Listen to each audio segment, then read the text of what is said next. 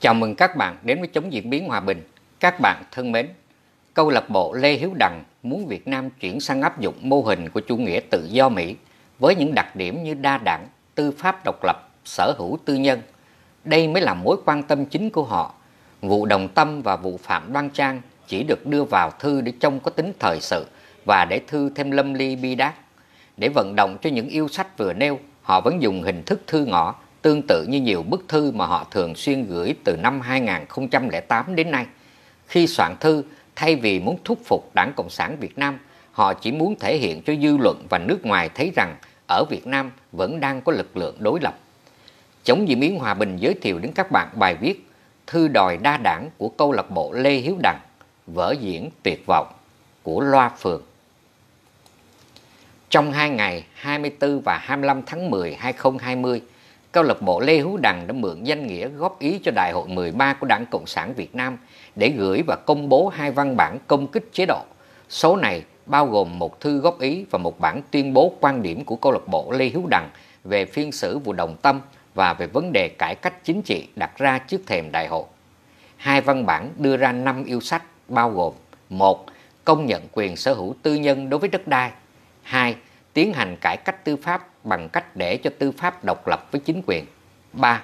Trong công tác nhân sự tại đại hội đảng, thay việc điều động chỉ định bằng vận động tranh cử, lựa chọn công khai, dân chủ ngay tại đại hội 4. Sửa hiến pháp, bầu lại quốc hội theo hướng đa đảng 5.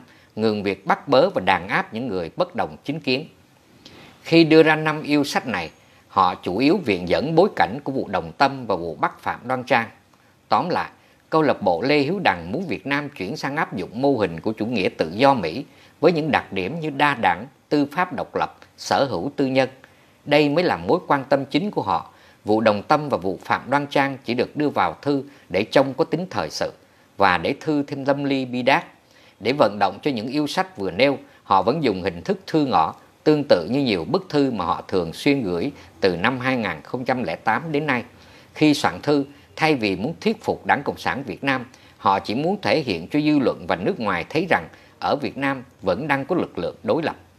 Như vậy, bức thư ngõ của họ chủ yếu là một vở diễn, nó lại là một vở diễn thiếu thuyết phục vì thực ra chẳng có lực lượng đối lập nào đang thật sự tồn tại ở Việt Nam.